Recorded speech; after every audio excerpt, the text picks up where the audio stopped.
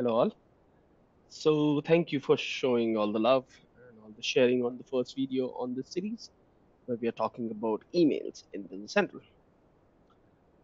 So, just a quick recap. I'll make sure that there's a link to the previous video at this place somewhere when this video is starting. But do watch that video if you haven't watched that. We'll continue from there. Today, we'll be talking about what are email scenarios in Business Central and what are different ways to attach default attachments in Business Central because Microsoft is making super easier for customers and also adding all the possible situations that customer will need while working with Business Central and using emails. Just a quick recap. What we did in the last video is we went ahead either using assisted setup or by searching for a page email accounts.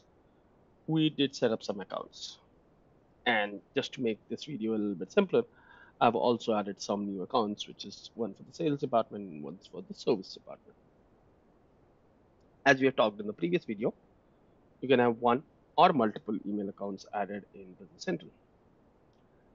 Now, what happens once you have these different accounts set up? You surely would like to use these accounts as a sender email account when different emails go from Business Central. How you do that? And that's where the scenarios come into the picture. As you can see here, there's a fact box which is showing up scenarios. So we'll keep talking about it. So now when I have a sales department email account or a purchase department email account, I surely would like to send all the emails that are coming from the purchase side of Business Central using this email account. So how I do that? I go into the navigate option in my email account page and I choose email scenarios.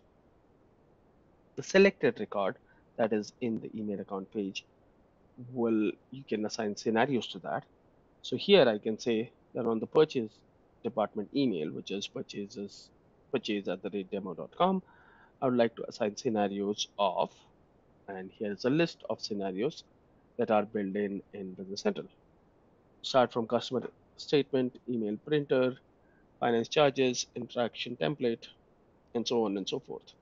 What I'll do is I'll select, and you can select multiple, that anytime a user of the Central tries to send an email from a purchase order page using default Microsoft email actions or on the purchase quote page. Anything else?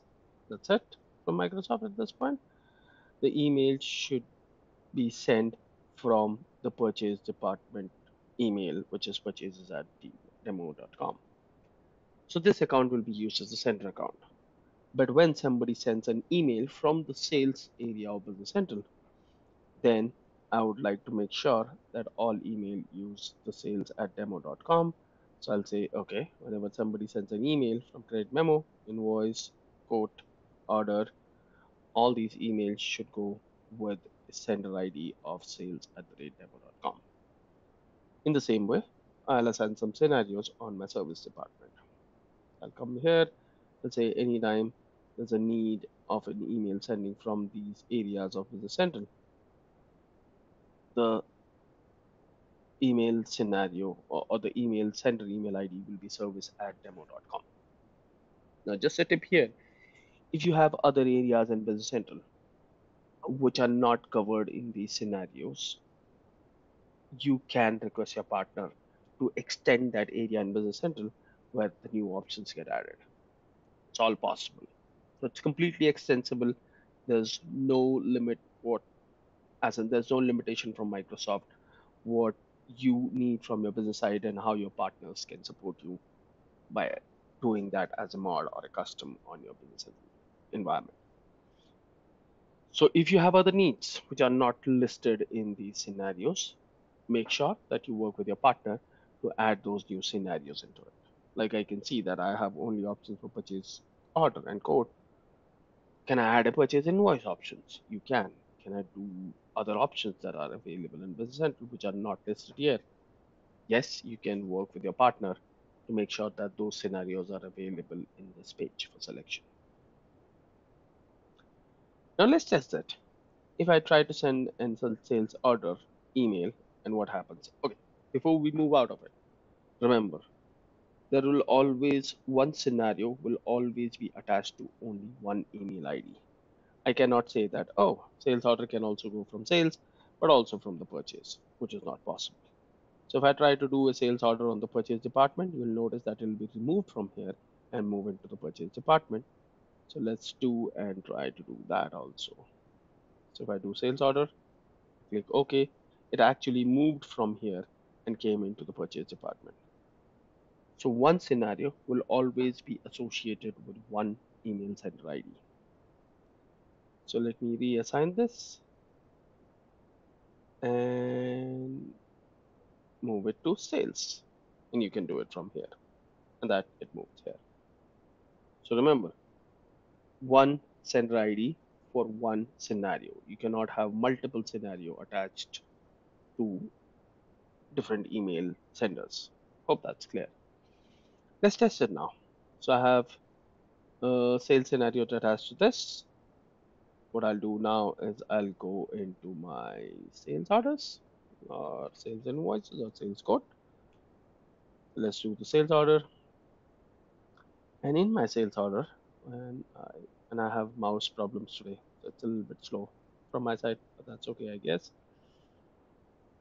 If I try to send an email, and there should be an action, and I'm bad with the shortcuts, and I don't remember stuff. That's not the problem. But here, if I'm the sales order and I click on email confirmation from Microsoft, you'll see that it'll start working on the email and sorry, pay focus on the from ID. So the from ID here is selected as sales department email.com. So by default, system will respect the scenario assignment that you have done and will make sure the same email ID is used as the sender email IDs. It does other stuff also. It does create a body. We'll come to it and discuss it someday if you guys need it. And then it does attach an attachment and we'll come to it in a while. Let's discard this email. Now let's try from the purchases. We have seen from the sales what's happening. Let's do a check on the purchase side. Uh, purchase order was there? I hope so. Yes. So if I pick a purchase order and if I try to send an email, you get a pop-up and we'll tell you how you can remove it maybe in a future video. I'll say email is yes and okay. And you'll see now it says the sender is purchase department. So the system is coded in a way that will respect the settings that you have done on your email account with the email scenarios. Now, as you have seen that when we are trying to run this and it does create a body, we'll come to it someday, and it also attaches, attaches an attachment into it for the document that you're sending. And if needed, let me know in comment section. We'll discuss about details of all these components that are available. But what if, if you as a company would like to make sure that, oh, I have, let's for take an example, I have some terms and condition that I always want to send whenever an email goes from a purchase department or whenever an email goes from the sales department or a scenario based situations or attachments. In that case, Microsoft considers this and understands that it's a need for the business. In the navigate option, there is an email scenario attachments, which assigns attachment to different email scenarios, not to the sender ID, but to the scenarios. So you have scenario at the top, and then you define who would be the sender for that scenario, and you are also able to identify which are the attachment which will be applicable to that scenario. So you click on that button. It's pretty simple. You start creating a new and you add file to a scenario. Once you do that, it shows you the list of scenarios that are available from Microsoft or from your ISV or from your partner.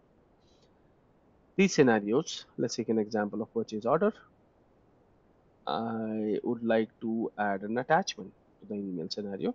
So I can go ahead and say, is the term statement, a demo term statement, which I've added here. And then there's a Boolean attach by default, which means that if you set this, then automatically when the email are generated for the purchase orders, this will get attached into email by default, or you can leave it blank. So let's attach one more thing here uh, on the same purchase orders, and let's add one more file here. Uh, let's say new terms. Out of these, what I'll do is I'll make sure that this get assigned by default and we'll see what happens if we don't assign it by default. Let's do a new one and add one into the my sales order scenario. Okay, I'll choose the attachment and that's get added and I'll check it by default. So at this moment, I have one attachment which is attached by default set on the scenario of sales order and then I have two attachment by default set on the purchase order. Out of them, one will should get attached automatically and one is not going to attach automatically and we'll see how we can use it. That can be a case that your business requirement have. Let's go back and try to send an email from the sales department, which is sales orders. Let's pick the sales order and then from here, let's try to do email confirmation. You will notice when you come down here that there is already an attachment attached called sales doc because you have attached that and marked that boolean to automatically attach that document into the email. So system again respect whatever you have done. Let's discard this. Now let's try it from the purchase where we have two uh, attachment attached to the purchase order scenario, but one of them should come by default. Other one should have some ways I'm hoping to kind of send from there. Okay. Since I do that, it does create the email, it does create the message out of it. Let's come down and there's already a purchase term attached. Now, what about the other file? If you look at it, there's a action to add file from default selection. What that default selection means? The files that you have attached into the scenarios, but you have not marked to attach it automatically. Which means that if you have case-based attachments that you want to make on your different scenarios, you can attach that. And then specifically on different cases, you can then attach those into your email. So let's click OK, and that'll get attached into the email. So I guess that was the intention for the today's video. Let's summarize what we understand. Uh, you can define multiple email account, which we learned in the previous video. Each email account can only be attached, a, a email account can be attached to multiple scenarios, but one scenario can only be attached to one sender email address. You can also attach multiple default attachment to a scenario. And then in that area you can define which of these will be automatically added into the email and which of these will not be. While you're creating the emails and when the emails are created you can also choose the attachments to that scenarios into the email do let me know your questions if there are any into about either about this video or any other email situations that you have. I'll make sure we talk about it. In the next video we'll talk about i'm not sure what we'll talk about but i'm pretty sure we'll talk about something around emails in this series. So keep an eye on that playlist about the emails and to like the video. If you learn something new to share this video with your colleagues with your friends and on social media and if you haven't subscribed to the channel please do that. Otherwise you'll miss some good content that's coming up in few days. Have a great day. See you next time with the next video. This is Saurav Dhyani signing out and I'll see you the next day with the next video. Thank you